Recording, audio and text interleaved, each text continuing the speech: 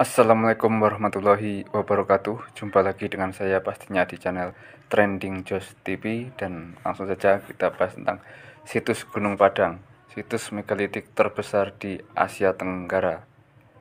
Oke lanjut. Situs Gunung Padang merupakan peninggalan megalitikum berbentuk punden berundak Yang terletak di perbatasan Dusun Gunung Padang dan Panggulangan Desa Karyamukti, Kecamatan Cempaka, Kabupaten Cianjur, Provinsi Jawa Barat dengan luas mencapai 291.800 meter meter kuadrat. Situs ini tercatat sebagai komplek komplek punden berundak terbesar di Asia Tenggara Keberadaan situs Gunung Padang pertama kali dilaporkan oleh Nicholas Johannes Krom pada 1914.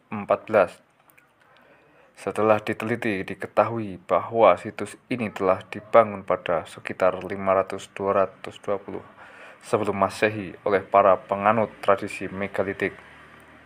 Bahkan struktur bangunan yang paling bawah diduga berusia lebih tua lagi yakni berumur 8000 sebelum Masehi.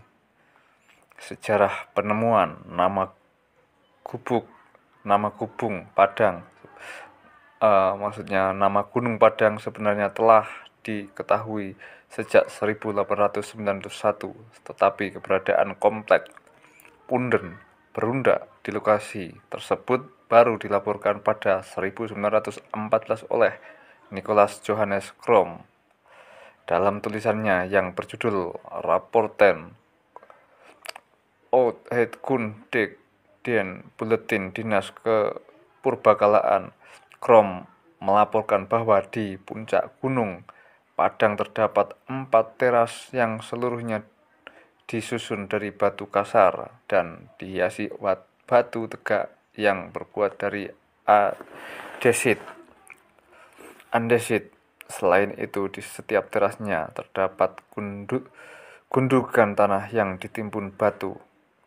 Krom pada awalnya mengidentifikasi temuan itu sebagai makam karena bentuknya yang menggunduk karena keterbatasan akses ke situs namun bersejarah di Gunung Padang sempat terlupakan selama beberapa dekade barulah pada 1979, masyarakat desa setempat melaporkan tentang keberadaan tumpukan batu-batu persegi besar dengan berbagai ukuran yang tersusun dalam suatu tempat berundak kepada pemerintah.